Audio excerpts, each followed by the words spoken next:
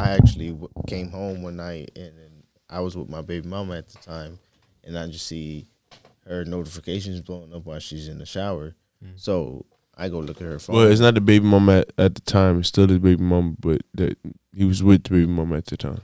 yeah, I was with baby mama at the time, and I decided to go through her phone, and then I see, Try to stay like on the mic. and then I try to see like I seen a whole bunch of text messages from a whole bunch of different dudes. So Mm. I tried to confront her about it, and shit just went south from there. Can you ever trust a woman? What what happened when you confronted her? It was, oh no, this is my friend. Oh, I just met Oh, him at a oh, party. Oh,